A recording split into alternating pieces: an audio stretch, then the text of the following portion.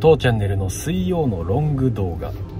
諸事情により2024年5月から金田一を語る人。今回のテーマは金田一37歳の事件簿聖アルプスカッコ仮最新話ファイル116うごめく呪い。こちらの感想いきましょう。こんにちはいつもご視聴いただきありがとうございます。さあ皆さん金田一37歳の事件簿をお読みになったでしょうかね。いやーね、うん、ついに起こった第2の事件といったところでしょうかね。状況からしてあの描写がラストにあったんでねもう確定って言っていいでしょうね。もうゴロンとなっちゃえばね。第2の被害者は鈴木あやめです。シルエット状態の犯人からすれば第一の事件で青崎優奈を仕留めましたと。これで鈴木を孤立させるという周到な作戦だったようですねここまで。でも第2の事件の実行中に犯人が変なことをしているようにも見えるんですよね。さて今回の動画は2024年3月13日公開の金田一37歳の事件簿最新話の感想動画です。最新話の内容をざっくりと振り返りまして後半では少しだけ深掘りといきたいと思うんですけど皆さんは最新話お読みになって何を感じたでしょうか？皆さんの感想もコメント欄でお気軽にお待ちしています。さあここで皆さんにお知らせです。当チャンネルではこれからも金田一ファンの憩いの場として発信していきます。直近のチャンネル登録状況こちらなんですね。チャンネル登録これからという方の方が多いと。さてこの機会に皆さんぜひとも応援の意味で。チャンネル登録お願いしま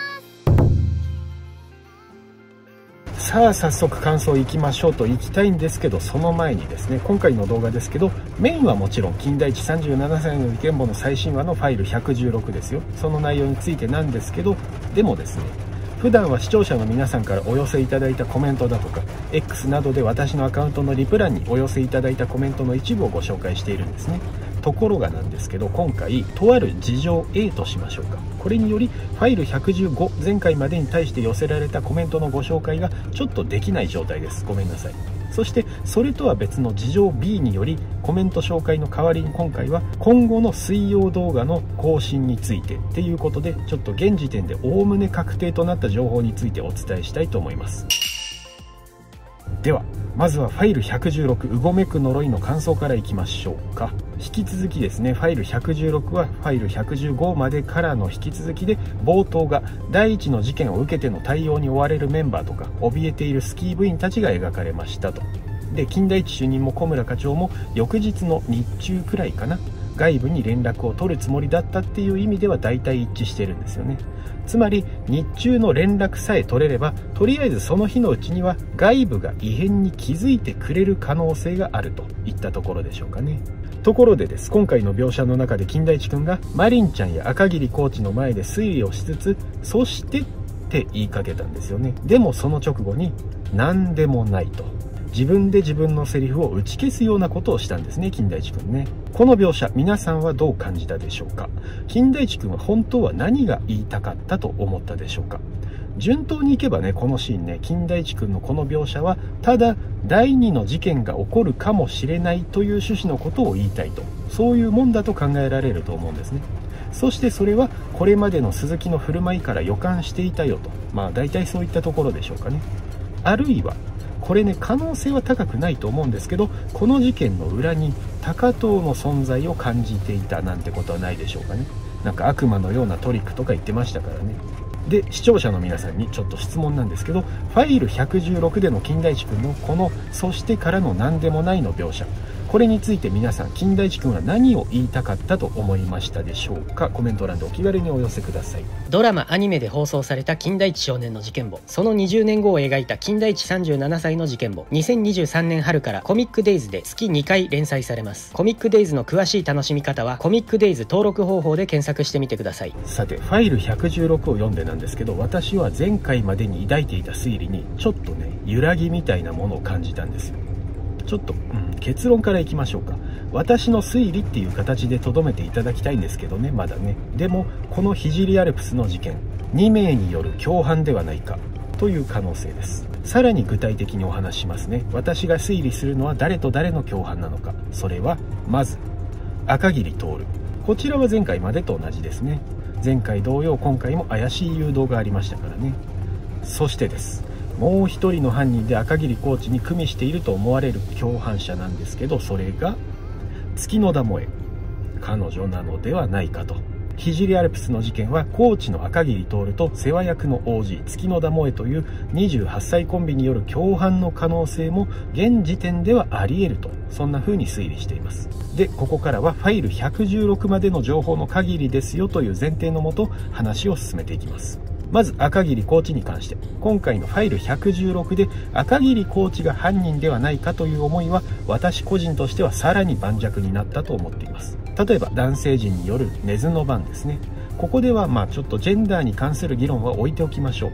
そういう考え方を抜きにしても今回の事件に関するメンバーを見渡した結果立場的結果的に根津の番に加わる顔ぶれとして妥当なのが全員男性メンバーでしたよと。そういう話なんだと私は考えてます。部員たちを守るのが監督やコーチの役目とかね。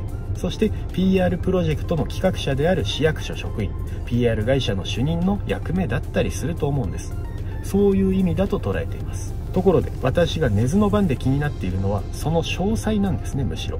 ローテーションは金田一君が最初でしょ。で次に赤桐コーチ鶴井監督そして小村課長。こういう順番ですよね。これは誰も疑っていないところからしてくじ引きとか話し合いとか全員に異論のない、まあ、公平な方法というかね。そういうので決まったと考えられるんですよね。でもです。誰かがトイレに行く時はその時の見張り担当に声をかけて一緒に行く。ということを提案したのが当チャンネルにおける現時点での怪しい人候補筆頭の赤桐コーチと。誰かがトイレに起きるという可能性もちろんゼロとは言い切れませんよね。まして寒い寒い雪の中のロッジですからね。でもわざわざ赤桐が進んで発言しているあたり赤桐の思うままに状況を作り出しているとも解釈できそうなんです。で次に赤桐に関して不思議な点もう1個あるんですね。それが謎のティータイム。赤桐コーチ28歳なんと全員分の紅茶を入れてきてくれたんですね。モテたいの？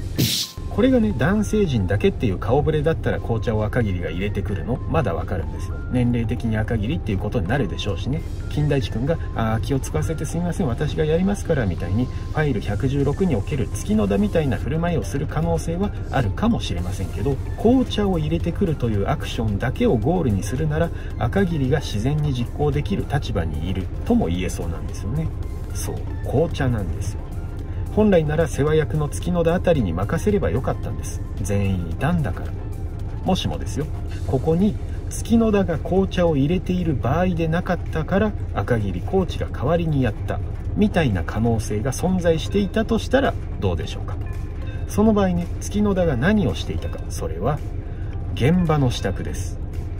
例えば第一の事件現場の片付けかもしれません。または前回のファイル115で金田一君が見た首なしスキーヤーの幻覚のようなものに理由があってそれの始末だったかもしれません。あるいはファイル116のラストで描かれた第2の事件の準備に行っていたのかもしれませんよね。そう私が何を言いたいかお分かりでしょうか。共犯者は月の田萌えということなんですね。あくまで当チャンネルでの推理です。でもそう考えるとファイル116の限りでは辻褄が合いそうにも見えてしまうんですよ。例えばファイル116の終盤あたりで4年生部員の鈴木が先に寝るとそういう旨を言い出しましたよね。感情を荒らげていた鈴木なんですけど部屋の鍵を受け取って自身の寝室へ。そんな鈴木に鍵を渡した人物つまり実質鈴木の泊まる部屋を指定した人物それが月野田萌だったんですね。鈴木に2階の右奥の部屋って指定した月野田なんですけどこのように部屋を指定してきたあたりファイル114の頃に出たり消えたりしていた月野田共犯説もちょっと再浮上してきそうに見えるんですよ。冒頭の赤桐コーチ謎のティータイムだけを見れば赤桐コーチだけ怪しく見えるんですけどね。ねえ赤桐コーチ。モテたいんすか？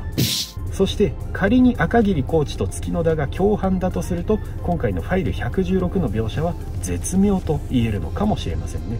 例えばです。例の根津の番のシーンではトップバッターの金田一君がまず持ち場にいましたけどそこに2番手の赤桐も来たんですよね。1時間半ぐらいで自分の番が来るからそれじゃ寝られないと。まあ確かにね言われてみれば気持ちはわかるんですよ。1時間半っていう時間。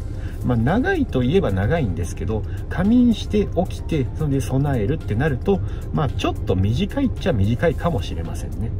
その上起こった事件が事件ですからまあ、誰かと一緒にいたいという気持ちもまあ、十分理解できるってところだと思うんですよね。ただしそれが赤桐コーチの利用するアリバイ工作の一環だったとしたらつまりですね鈴木が月野田の指定した部屋で眠りにつくと。少なくともベッドで横になった状態ではあったでしょう。気が立って眠れないとしてもね。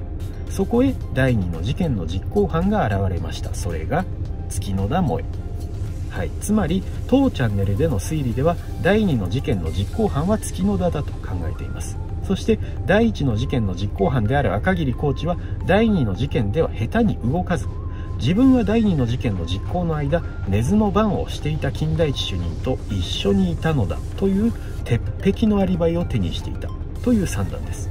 一方で第2の事件の実行犯が月野田だとして彼女には第1の事件現場が旧ロッジにしつらえられていた時点で徒歩15分ほどかかる距離の新ロッジにいたっていうアリバイが盤石なんですね。その時点で新ロッジにいたマリンちゃんともコミュニケーションをとっていたようですし月野田が長時間にわたって新ロッジから単独で離れていた可能性はちょっとこれ低そうですよね。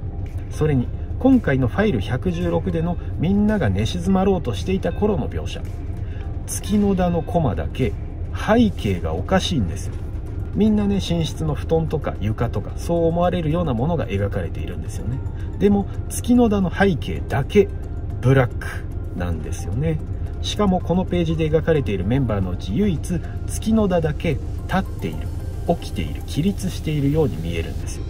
今回の聖アルプスの事件。犯人は赤桐徹と月野田萌の共犯で第1の事件と第2の事件それぞれを実行しながら相棒のアリバイを確保してあげていたというなかなかの緻密な戦略があるのかもしれません。知らんけど。さてと少しだけ気になった描写も触れておきましょうか。つららです。第2の事件がついに今回のファイル116のラストで起こってしまいました。やられ方からしてもうこれ確定と言うしかないんですよね。第2の被害者は鈴木あやめでした。それはここまでのストーリーからして想定内です。でも当チャンネルで気になっているのはそこではないんですよ。鈴木の下の対応なんですね。下の部分。具体的には第2の事件の犯人は窓の外に大きく伸びているつららの数本をわざわざ折ったんですね。それで折って鈴木の下を窓の外に捨てたんです。なぜ？個人的な感想ではあるんですけどこの行為めちゃめちゃ危ないと思うんですよ。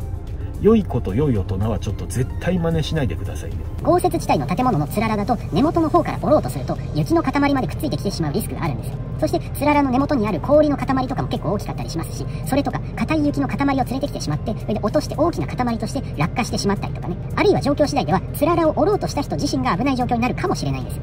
それだけファイル116のラストの犯人の行為めちゃめちゃ危険だと思うんですね。逆にねそれだけ危ない行為だと理解した上でつららを追っているとしたらどうでしょうか。犯人のこの行為次回のファイル117以降の描写と何か関連してくるのかもしれません。みんなも松本くんに質問してみよう。当チャンネルでは皆さんの日頃の質問を募集中です。お仕事のこと、人間関係のこと、恋愛の悩み、YouTube チャンネルや SNS アカウントの伸ばし方、などなど、当チャンネルのライブ配信や切り抜き動画でお答えしていきます。質問は当チャンネルの動画のコメント欄や松本くんの SNS アカウントで受付中です。お気軽にどうぞ。さて、ここで今回の動画の冒頭で触れた2024年5月以降の水曜動画の更新についてっていうお話をさせていただきましょうか。そもそもなんですけど改めましてご説明しますね。当チャンネルでは毎月の第2第4水曜日に金田一37歳の事件簿の最新話の感想動画をアップしているんですね。稀に最新話の更新から次回まで3週間空いてしまうっていう場合があるんですけどその場合は別の企画の動画をアップすることもあります。その他の曜日にはショート動画をアップしたりもしています。ところが、ありがたいことではあるんですけど、とあるオファーをいただきまして、で、第2、第4に関わらず、毎週水曜日の日中にちょっと別の用事ができちゃったんですね。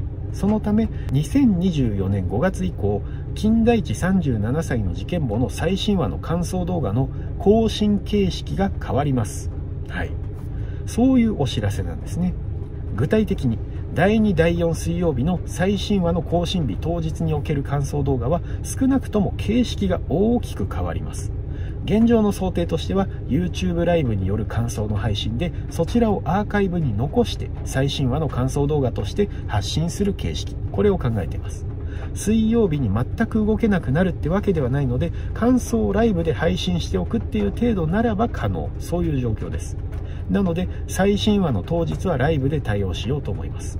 それでね第2第4の翌週の水曜日。ここで基本的に第3水曜日と、まあ、もう1回は第5週か月が変わって第1水曜日。そのタイミングでは深掘り会として最新話で気になったポイントに絞って考えたり皆さんの感想も紹介したりしています。その回は事前収録が可能なのでそちらは水曜日の18時発信というこれまでの更新体制を維持できると見込んでいます。まあもっともそれ以外の事情で水曜更新ができない場合っていうのもありえますけどね。もうその際はごめんなさい。なのでちょっとここで視聴者の皆さんの希望を取りたいと思います。後で久々にね当チャンネルのコミュニティ機能あそこの投票フォームも動かしてみましょうかね。金田一シリーズの最新話更新の当日の感想動画。その発信時間帯皆さんはどちらがいいでしょうか。1つ目が最新話が公式にアップされた日の午前9時から10時頃のうちの最大30分程度。そして2つ目の選択肢が同じく最新話アップ当日のお昼12時半頃から13時半頃のうちの最大30分程度。こちらの動画のコメント欄か直近で出させていただく投票フォームでお気軽にご希望を教えてください。よろしくお願いします。ということで今回はここまでです最後までご視聴いただきありがとうございましたではまた最後までご視聴いただきありがとうございました。このチャンネルでは近代一少年の事件簿、近代一37歳の事件簿の感想や考察などの動画を発信していきます。応援してくださる方はチャンネル登録とグッドボタンよろしくお願いします。また、SNS は概要欄のリンクからフォローをお願いいたします。次回の動画もお楽しみに。